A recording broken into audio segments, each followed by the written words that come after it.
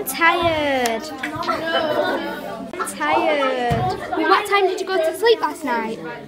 Nine o'clock. Well, is that enough sleep? I'm not sure. How can I tell? An app will calculate it all for you. Cool. What's the app called? It's called Sleep Calculator. Our app calculates how much sleep you get to make sure you are not tired, even includes an alarm clock and tips to help you fall asleep earlier. Sleep Calculator by Georgia and Lacey.